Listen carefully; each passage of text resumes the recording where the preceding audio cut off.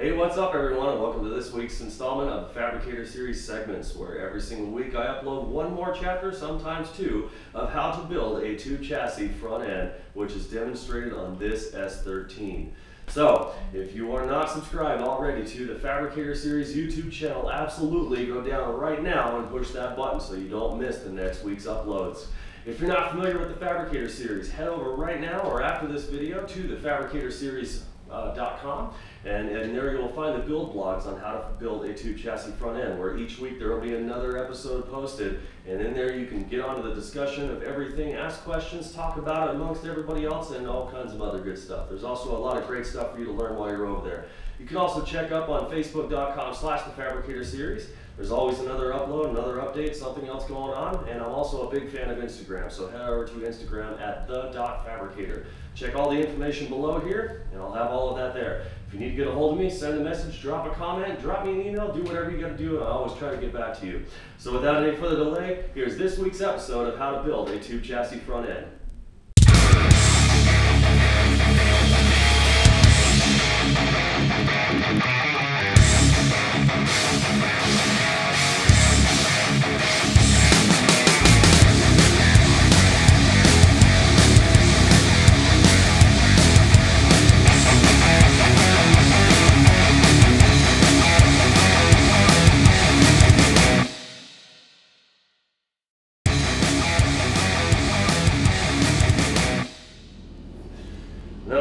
Tube in here.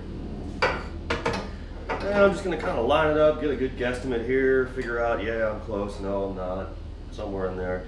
I know that I'll have to trim it up to get it to actually fit in here, and that's perfect. That's exactly what you want. So, one thing I do want to add,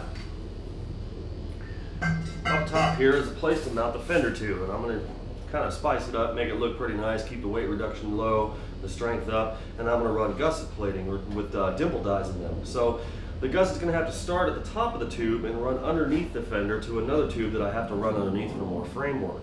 So in order to get the spacing correct with the dimple dies in there to make sure that the height is set correctly, uh, I'm going to have to set up some sort of a system here in which, this case, I'm just going to kind of clamp in a couple pieces of sheet metal little primitive, but it absolutely does the job. And then I'm gonna actually take my dimple die, just kind of line it up in there, set it up against the fender to make sure that I have more than enough space. Now I'm gonna take the tube, and I'm just gonna set it on top actually. Make sure I get my height right. Now I'm noticing that my headlight bucket is in the way. So, but I can sit here and look at this at the same time and realize, okay, the tab is next to the tube, so it shouldn't interfere in where I want it to land on the chassis rail, and it shouldn't interfere there either. So we're, we're pretty sure we're good to go. So I'm gonna take that headlight bucket back out, and then we'll line this up again.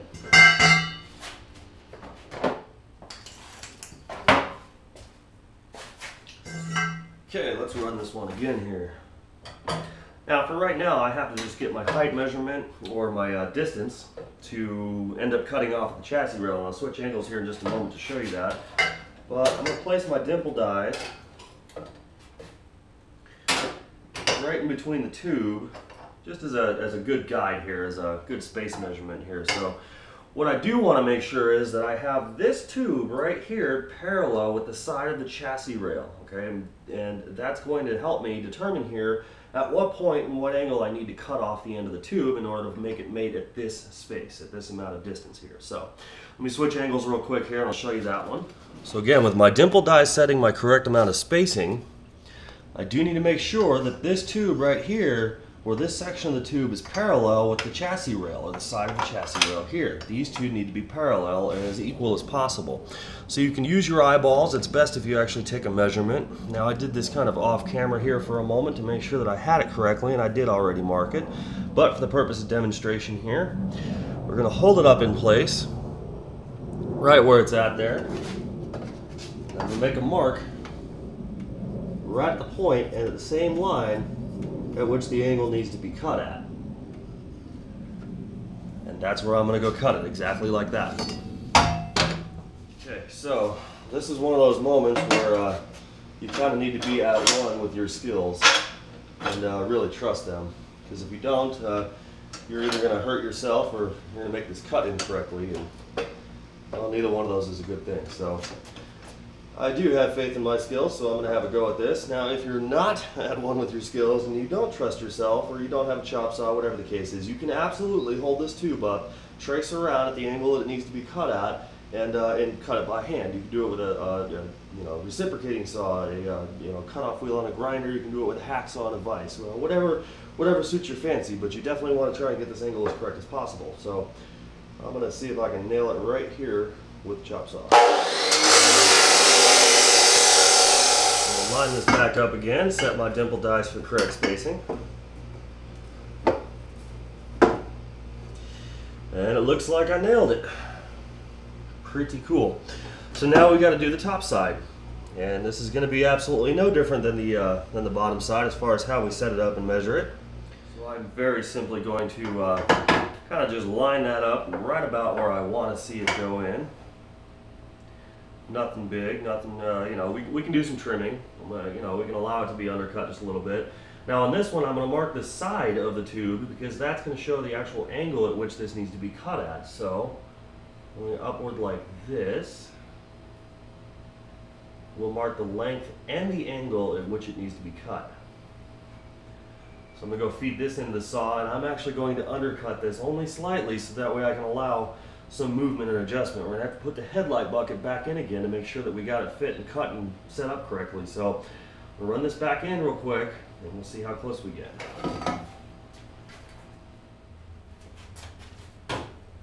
Alright. Of course, undercutting always a good thing because uh, I still have to trim back probably about a half an inch until I get that lined up at the bottom where I want it. What I'm to do real quick uh, I can't hold these uh, dimple dies in place underneath. So I'm going to mark the uh, chassis here about where I need the tube to land. And we're just going to go to the center of the tube and make a line reference here. So when I stick it underneath the sheet metal here and place it up top here, I know exactly where the center of that tube needs to land, and uh, I don't have to have the dimple dies here in place to hold it all in. So now I'm going to trim this back just a little bit each time, just a little bit more, a little bit more, and we're going to get it to the point where it actually lands where it needs to be, which in this case, as I hold it up here, it's only probably about a half an inch or so since I did undercut it before. So let's get this trimmed off again and we'll see how close we are again.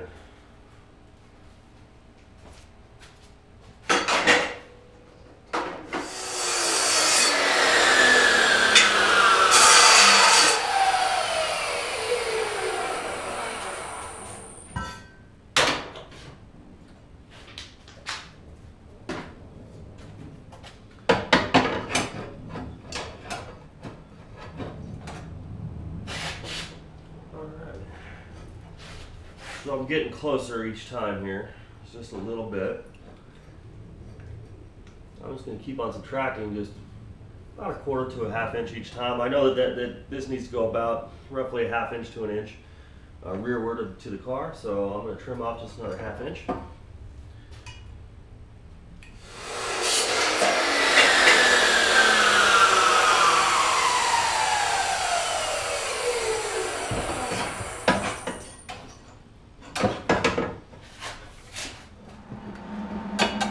So I've made just a couple little final trims with the grinder and I've got it just about right where I want it to.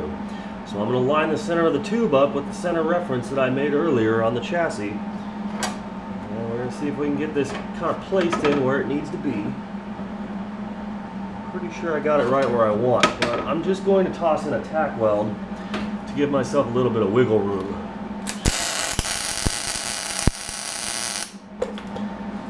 That'll hold it in place for a minute while I tend to the bottom. Now of course the tube on the other side is already placed and I took a measure of that one to the end of the chassis and it comes out to three quarters of an inch. So what I'm going to do is line this up, take a measure, hold this in place again. I'm actually going to get my welder ready. I have my hands backwards for a moment. So both sides of the chassis are going to be the same and the other tube is already in place. So I measured it just to confirm there were three quarters of an inch. So I'm going to hold this in place. To throw a tack on it.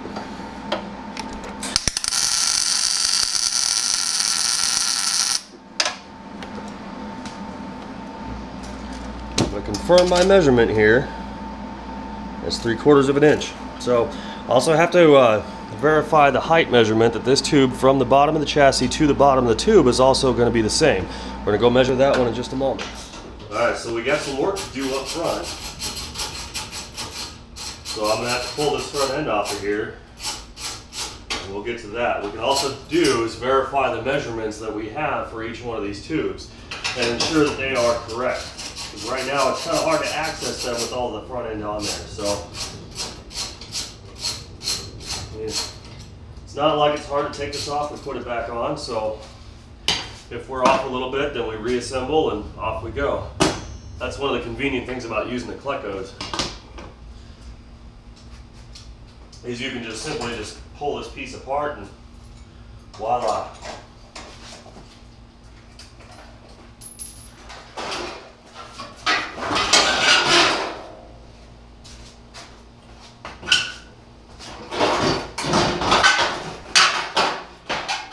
So I ran my measurements just a few moments ago and uh, I realized that this tube right here was actually a quarter of an inch too low. So I had to lift it up just a little bit, retacked, rewelded everything, and now it's set in place. Now I do have it measured out correctly, length, width, and height.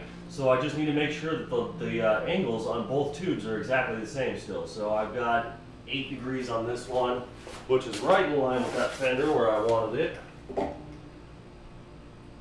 And I've got 8 degrees on this one, so we're good. Now there might be a fraction or two or a tenth of a degree or whatnot that it might be off, but that's not that big of a deal. So, but other than that, tubes are in place. Everything is basically balanced out and sitting correctly. I'm satisfied with it, so um, I'm going to leave them just kind of tacked in place right now, but strongly tacked in place. So I don't want to have anything like a, you know, twisting or bending of the chassis or bumping the tube or anything like that would, would knock a weld out. So I'm going to throw a few more tacks in place, but leave them accessible in the event that I have to cut the tube off or something changes or whatever along the way. So I'm not going to fully weld it just yet.